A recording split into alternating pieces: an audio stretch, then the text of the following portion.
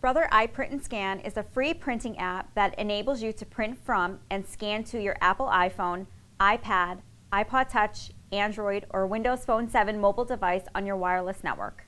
It's convenient and easy to use. Just download the app and it will automatically search for supported devices on your local wireless network. The application will search your network and display a list of available machines.